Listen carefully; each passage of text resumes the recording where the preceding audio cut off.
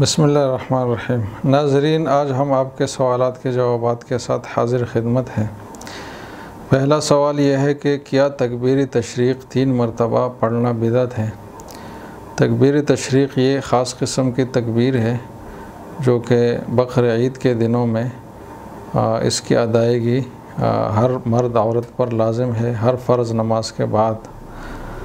आ, और ये नौजुलहजा जो आरफा का दिन कहलाता है, उसके फ़जर की नमाज़ से शुरू होता है और तेरह ज़िलहजा की आसर की नमाज़ तक इसका दौरानिया रहता है। अब ये जो तकबीर तशरीक़ है, ये एक मरतबा पढ़ना वाजिब है। हर मुसलमान मर औरत पर हर फ़र्ज़ नमाज़ के बाद। एक से ज़ायद मरतबा पढ़ना न तो वाजिब है और न सुन्नत है।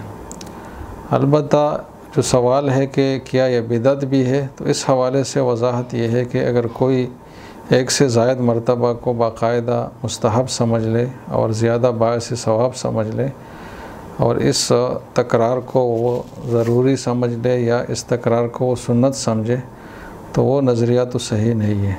लेकिन अगर कोई सुन्नत समझे बग़ैर सिर्फ़ एक ज़िक्र की खातिर इसको दोहराता है, बार बार इसका जो है ना, इसकी अदायगी करता है तकबीर की तो इसमें बज़ात ख़ुद कोई हरज भी नहीं है। तो ख़ुलासा यह है कि सुन्नत समझ कर नहीं पढ़ना चाहिए कि तीन मरतबा सुन्नत है। अलबत् अगर सुन्नत समझे बग़ैर कोई पढ़ता है तो कोई हरज की बात भी नहीं है। दूसरा सवाल ये है कि क्या वाजिब क़ुरबानी का हिस्सा वक़फ़ क़ुरबानी में देना जायज़ है? और एक और सवाल इसी नौीयत का है कि क़ुरबानी का हिस्सा वक़फ़ करने का ज़्यादा सवाब है या अपने लिए क़ुरबानी करने का ज़्यादा सवाब है? तो पहली बात तो यह है कि क़ुरबानी जो कि वाजिब है, वो सिर्फ़ इससे अदा हो जाता है कि आपने अल्लाह के नाम पर एक जानवर ज़बह कर लिया, एक बड़े जानवर में सातवां हिस्सा ले लिया और वो ज़बह हो गया। तो जब ये अमल हो जाए तो आपकी क़ुरबानी अदा हो गई। अब इससे आगे गोश वसूल करना या वसूल न करना ये इजाफ़ी अमूर है, इसका क़ुरबानी की अदायगी से कोई ताल्लुक़ नहीं है। अलबत् इस हवाले से तफसील ये है कि मुस्तहब तरीक़ा तो ये है कि आदमी जब क़ुरबानी करे तो उस गोश्त के तीन हिस्से बनाए। एक हिस्सा अपने अज़ीज़ व अकारब के लिए रख, एक हिस्सा जो फ़ुकरा और मुस्तकिन हैं, उनमें तकसीम करें और एक हिस्सा ज़ाती इस्तेमाल के लिए रख लें। अब ये तो एक मुस्तहब तरीक़ा है, लेकिन अगर कोई इससे हट कर करे मतलब उसकी फैमिली बड़ी है और उसको ज़रूरत है और पूरा गोश अपने लिए रखता है तो भी हरज की बात नहीं है। या उसके पास ज़रूरत नहीं है और पूरा गोश जो है वो सदक़ा करता है तो भी हरज की बात नहीं है, बल्कि ज़्यादा बायस सवाब है।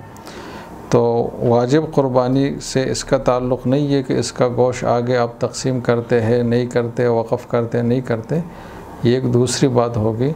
और इसका जबता मैंने अर्ज़ कर दिया। बाकी ये जो सवाल है कि क्या वक़फ़ क़ुरबानी का सवाब ज़्यादा है या अपने लिए तो ज़ाहिर बात है कि जब आप क़ुरबानी वक़फ़ करेंगे तो वो सारा गोश आप सदक़ा करेंगे तो ये ज़्यादा बास सवाब है। और अगर आप कुछ कुछ गोश जो है वो अपने लिए रख लें तो वो जायज़ तो है, लेकिन वक़फ़ के मुकाबले में ज़ाहिर है कि उसका सवाब जो है वो कम होगा। एक और सवाल है कि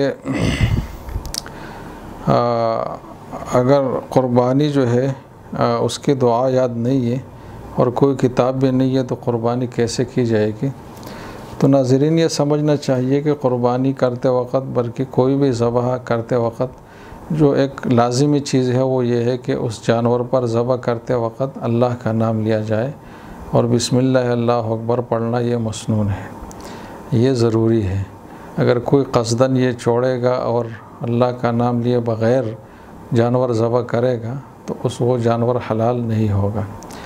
अलबत् जो इसके अलावा दुआएँ हैं, जैसे कि क़ुरबानी के वक्त के ख़ास दुआ है कि जब आप जानवर को लेटाएँगे, क़बल रुख करेंगे तो ये दुआ पढ़ेंगे कि इन वजह तो वजह लजी फ़तर समावत वलअर्द हनीफ़ा व मा अनमिनमशरकिन इन नसलाती व नुसुकी व महया व ममात रबालमीन ला शरीक लह व बेज़ालिक उमिर तो अनमिनमसलमिन अल्लामिन का वलक और फिर बिसमिल्ला अकबर पढ़कर जानवर को ज़बह किया जाए।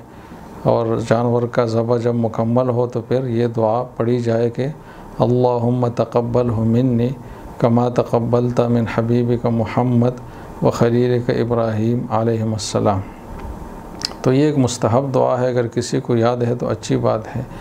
और ज़्यादा बायस सवाब है, उसकी क़ुरबानी ज़्यादा बायस बरकत होगी और हर मुसलमान को याद करनी भी चाहिए, दुआ कोई मुश्किल नहीं है। लेकिन अगर किसी को याद नहीं है तो फिर कोई ऐसा ज़रूरी भी नहीं है कि इस पर क़ुरबानी का अदा होना मौकूफ़ हो, बल्कि क़ुरबानी अदा हो जाती है। और जो मज़ीद इन्होंने कहा है कि किताब और वग़ैरह तो उसकी ज़रूरत ही नहीं पड़ती। एक और सवाल है कि क़ुरबानी के जानवर की तीन रगों का काटना ज़रूरी है, लेकिन ये अंदाज़ा कैसे होगा कि तीन रगें कट गई या नहीं कटी? तो बात यह है कि जो चार रगें कटनी है, जिसमें तीन भी काफ़ी है तो उसमें जो दो रगें हैं, सांस की नाली और खाने की नाली बहुत ही करीब करीब हैं।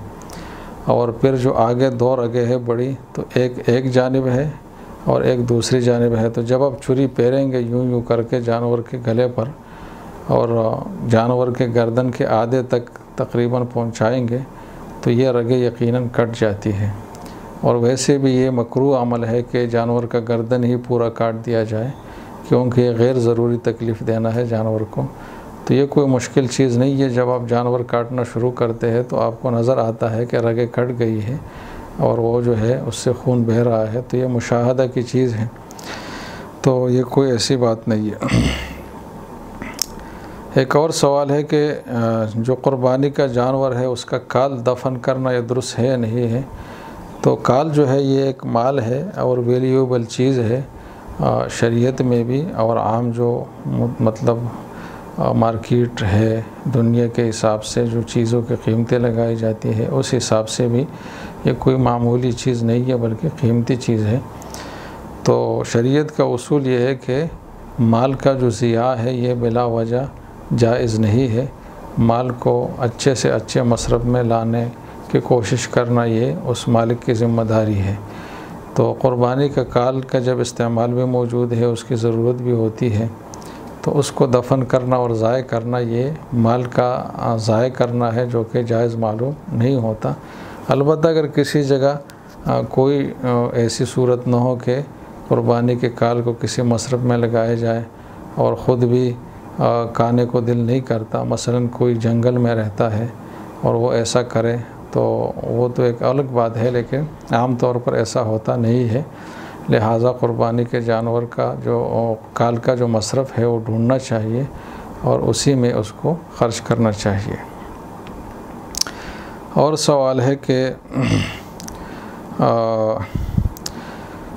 जनाब, क्या ये बात सही है कि हज़रत मूसा सलाम की जौजा हज़रत शुएब आसमाम की बेटी थी। आ, किसी आलम से सुना है कि ऐसा नहीं था। तो इस हवाले से बात यह है कि कुरान में जितनी बात है वो तो ये है कि हज़रत मूसा सलाम के जो ससुर साहब थे वो एक नेक आदमी थे अल्लाह वाले थे और उनकी दो बेटियाँ थी और उनमें से एक बेटी हज़रत मूसा सलाम के निकाह में आई। उनके नबी होने का या उनका नाम लेकर यह तस्करा कुरान में नहीं है। अलबत् मशहूर बात यह है कि वह हज़रत शुएब आसमाम थे और अक्सर मुफसरीन ने उसका तस्कर किया है और उसकी तरदीद की कोई वजह भी नहीं है। तो इस मशहूर बात ही को लेना चाहिए। लेकिन अगर कोई इससे हट कर बात करता है तो भी वो उसको बिल्कुल लिया और क़तई तौर पर गलत नहीं कहा जा सकता। क्योंकि हाफिज़ इबन कसीर जो बड़े मशहूर मुफसर है, उन्होंने अपनी तफसीर में ये बात इख्तियार फरमाई है कि वो हज़रत शुएब नहीं थे, बल्कि उनके चचाजाद थे या उनके भतीजे थे जो हज़रत मूसम के ससुर थे। तो मोतबर मुफसरीन से दूसरे अकवाल भी साबित है, लेकिन मशहूर कौल वही है कि हज़रत शुएब है, और इस मशहूर कौल ही को बयान करना चाहिए, इसमें कोई हर्ज की बात नहीं है।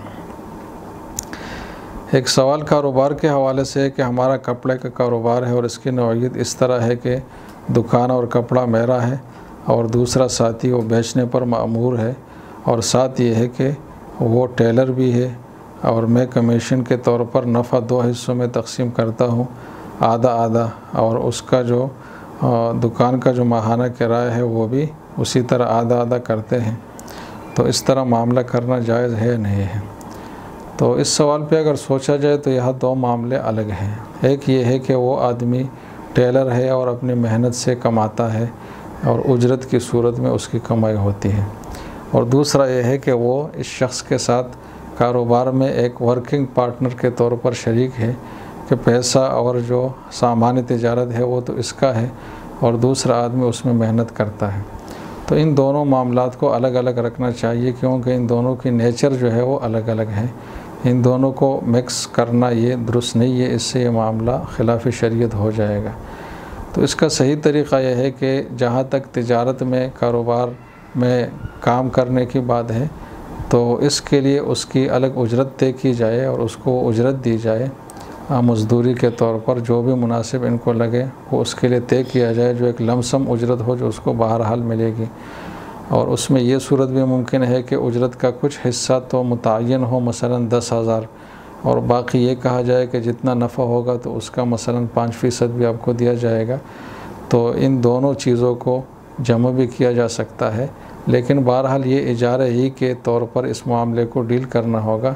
इसमें शराकत दारी की सूरत जो है वो दुरुस्त नहीं है। आ, बाकी ये जो दूसरी बात है कि वो टेलर है और टेलर के तौर पर वो काम करता है तो उसमें एक दूसरा मामला इनको करना होगा जिसको फ़िका में शिरकतलामाल कहा जाता है। आ, और वो ये है कि दो आदमी किसी काम के आ, से मुतल हो माहिर हो उस काम से वाबस्ता हो। और वो आपस में ये माहदा करे कि हम दोनों लोगों से काम लिया करेंगे और फिर उसको अंजाम दिया करेंगे और जो उजरत होगी वो इस इस तनासब से तकसीम होगी। तो ये दोनों आपस में ये माहदा करें कि लोगों से कपड़े सीने के लिए लिया करेंगे और दोनों को ये इख्तियार होगा कि वो आर्डर वसूल करें और वसूली के बाद फिर कोई भी उसके सिलाई कर ले। ये ज़रूरी नहीं है कि दोनों ही सिलाई के अमल में शरीक हो। सिर्फ़ इतना ज़रूरी है कि दोनों को आर्डर लेने की इजाज़त हो। हाँ तो उस मामले में फिर ये शराकत दारी हो सकती है और फ़ीसदी तरीके से नफ़ा जो है वो तय किया जा सकता है। तो ये दोनों मामले इस तरीके से करने चाहिए। हाँ तो आज की मजलिस के लिए इतना ही काफ़ी बाकी इन आइंदा। वालकम